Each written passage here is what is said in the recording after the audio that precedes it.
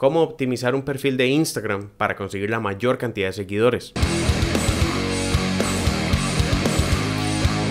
Hola, ¿cómo están amigos? Espero que estén muy bien. Soy Julio, bienvenidos de vuelta aquí a mi canal. Hoy estamos hablando básicamente de Instagram. Esta es la continuación de una serie de videos donde estamos creando una marca desde cero, todo un negocio en línea que vamos a monetizar por medio de affiliate marketing, Instagram inclusive Shopify y muchas otras opciones. Esta es la continuación a lo que han sido una serie de videos. Les dejo aquí la lista por si desean ver todos los pasos que hemos dado uno a uno. Pero hoy nos estamos enfocando en cómo optimizar el perfil a la mejor manera posible. Cuando me refiero a optimizar el perfil es que básicamente tenemos que conseguir la mayor cantidad de seguidores para que eventualmente se convierta en la mayor cantidad de clientes posibles, la mayor cantidad de ventas, obviamente también.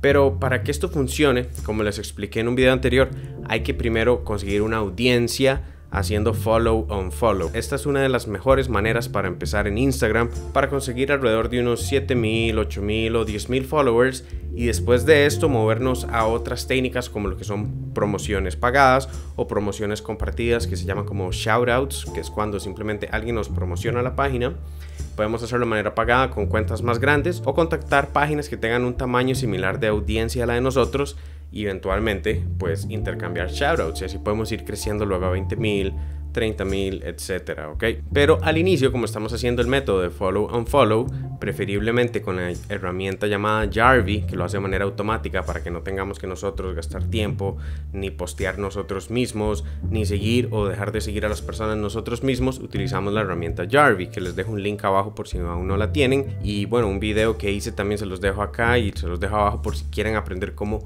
utilizar esta herramienta para que crezcan de manera automática su Instagram. Una vez que se está utilizando esta herramienta o están utilizando el método de follow on follow, es muy importante optimizar el perfil para que obtengamos la mayor cantidad de clientes, de followers, de personas interesadas en nuestro negocio. Al inicio no estamos monetizando porque nuestra idea es simplemente conseguir personas interesadas en lo que estamos haciendo, conseguir una audiencia. Hoy en día lo más importante al momento de crear negocios son audiencias las marcas, las empresas, las personas, personal brands, etcétera, se enfocan a conseguir audiencias que después pueden encuestar por medio del mismo Instagram y preguntarles qué es lo que quieren. Entonces básicamente no tenemos que gastar tiempo y recursos en crear productos o servicios hasta que sin saber de antemano qué es lo que va a funcionar. Por eso es tan importante crear la audiencia primero. Pero bueno, enfoquémonos a cómo optimizar el perfil de la mejor manera. Les recuerdo si les gusta todo este estilo de información, suscríbanse al canal dándole a la campana para que les lleguen las notificaciones de los siguientes videos y me dejan un like y comentarios y todo eso. Pero bueno, empecemos. Veamos unos ejemplos. ¿Qué es lo que hace que las personas que lleguen a nuestra cuenta tomen acción en seguirnos, en dejar likes, en darle clic a los links que tengamos en el mismo perfil? pues básicamente ellos tienen que saber cuál es el valor que nosotros les estamos ofreciendo. Si lo único que estamos haciendo en nuestra cuenta es poner una imagen que no se entiende, que el logo es pequeño, que tal vez si la, fotografía es de nosotros mismos como un personal brand, la fotografía en ese caso es pequeña o no se distingue la cara del fondo, pues no vamos a conseguir suficiente cantidad de personas que decidan seguirnos de vuelta.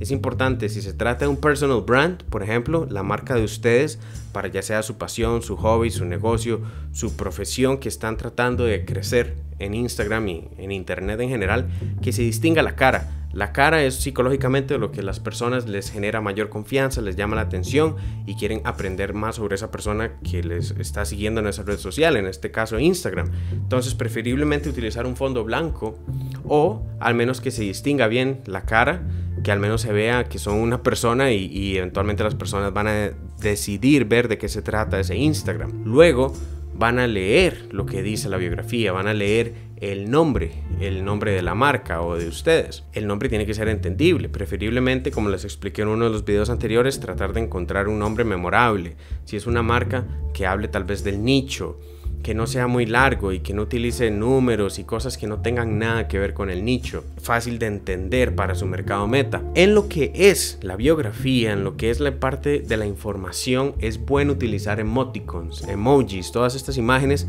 ayudan llamar la atención y ojalá que sean emojis enfocados al nicho también. Entonces, si son emojis enfocados, por ejemplo, ustedes son músicos, obviamente utilizar emojis relacionados a música. Si son productores, relacionados a eso y hacerles saber que ustedes pertenecen a esa profesión. Y no solo poner como soy productor, soy ingeniero. Otro ejemplo, por ejemplo, si hacen yoga, si lo que quieren es dar clases de yoga, tienen un canal de yoga, tienen consultas de yoga y todo esto, clases de ese estilo, pues pongan emoticons de eso, pero también díganle a las personas qué es lo que van a encontrar en su cuenta de Instagram. No solo como soy profesora de yoga. No, en ese caso, no solo poner como soy instructor o instructora de yoga, poner como doy contenido relevante sobre yoga. Te enseño a aprender a hacer yoga. Si son músicos, te enseño a producir beats, enseño beats diarios, enseño mis nuevos beats constantemente. Eso es lo que la persona quiere saber. No solo qué es lo que ustedes hacen, sino lo que ellos van a obtener de lo que ustedes están ofreciendo. Entonces, entre más fácil se lo hagan saber a las personas, más cantidad de followers van a conseguir de vuelta, especialmente cuando están haciendo estas técnicas de follow and follow. Igual, si hacen shoutouts o promociones por medio de otros influencers, cuando lleguen a su perfil, es bueno que vean qué es lo que ellos van a obtener de su perfil inmediatamente. Ahora, igual de importante que esto son los posts. Obviamente, los primeros posts que se ven son los primeros 6, los primeros 3, 6 o 9 esos nueve posts tienen que ya estar existentes, tienen que encontrarse ya en el Instagram, definitivamente. Tienen que verse bien, fáciles de entender, obviamente enfocado a su nicho. Nuevamente utilizando el ejemplo de yoga o el ejemplo de músicos, tienen que verse que ustedes están componiendo música o están dando clases o hacen poses de yoga o están tocando el instrumento de su preferencia. Todo eso tiene que estar en los primeros nueve posts. Hay personas que ni siquiera hacen scroll down para saber qué es lo que más hay abajo. Entonces es bueno que los primeros seis, los primeros nueve estén optimizados, que las personas vean de qué se trata ese perfil y qué es el valor que ellos van a obtener de ese perfil, por lo cual van a decidir seguirlos a ustedes. Y por último, las historias destacadas. Las historias destacadas pues, son estas que se colocan abajo de la biografía y las personas pueden verlas una y otra vez, quedan guardadas en el perfil. Tienen que haber, dependiendo del servicio que ustedes ofrezcan, ya sean testimonios de otros clientes, de otras personas que han trabajado con ustedes, que vean que es cómo ellos se han beneficiado, eso hace que ellos decidan también a tomar acción eventualmente a comprar sus productos o servicios y definitivamente a seguirlos a ustedes también. Que vean valor, qué otro valor ofrecen ustedes aparte de Instagram, pueden ser canales de YouTube donde ofrecen valor también, videos, información, tutoriales, entretenimiento, música, lo que sea que ustedes enfoquen. Tienen que haber links a eso también, a sus otros canales, a sus otras plataformas, redes sociales donde están ofreciendo valor. Lo importante tengan en cuenta es ofrecer valor. El valor se da primero, luego lo obtenemos nosotros de vuelta cuando vendemos productos y servicios, pero no antes de haber ofrecido valor. No se puede simplemente crear la cuenta en Instagram o en cualquier red social y de una vez poner links para que nos compren y todo eso si las personas no saben qué es lo que hacemos, no saben qué valor están obteniendo, no han obtenido algo de información antes de. Entonces tengan eso en cuenta primero. Pueden colocar links importantes que ustedes consideren que benefician a su negocio, eh, benefician al prestigio de su negocio, al valor, todo eso es válido cosas que entretengan de su vida diaria, en el caso de un negocio, en el día a día del negocio, si es un restaurante, cómo se hacen los platillos, cómo funcionan las recetas y todo eso, eso a las personas les interesa mucho. Y bueno, y, obviamente hay que entrar después a los temas de los posts, eso podemos verlo más adelante porque es un tema aún más complicado que incluye hashtags, temporalidades diferentes, estar revisando las estadísticas de Instagram.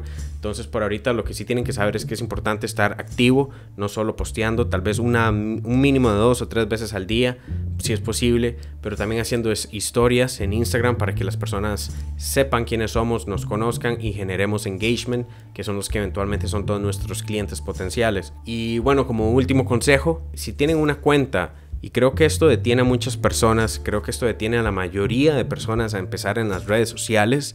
Mi consejo es creen una cuenta aparte. Si ya tienen una cuenta con un montón de amigos, familiares, personas de trabajo, personas de otras áreas sociales que no pertenecen a su nicho, no spameen empezando a, crear una cuenta diciéndole a todo el mundo que les dé like o empezando a simplemente postear un montón de cosas porque tal vez eso los detenga a ustedes, primero que nada, porque ustedes no quieren exponerse de esa manera. Tal vez van a conseguir haters en el camino o van a conseguir personas que no están interesadas en su nicho. Entonces creen una cuenta aparte. Si es un personal brand, creen una cuenta personal brand aparte. Si lo que ustedes están haciendo es, por ejemplo, ser músicos, hacer yoga, son cocineros, lo que sea, creen una cuenta enfocada a eso.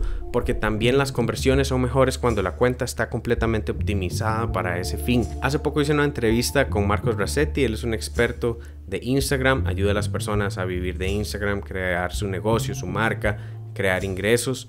Entonces les dejo el link acá por si les interesa aprender más a fondo y les dejo un link abajo también de lo que sería el entrenamiento que él ofrece gratuito. Entonces les dejo el link por si les interesa saber a mayor profundidad todos estos temas.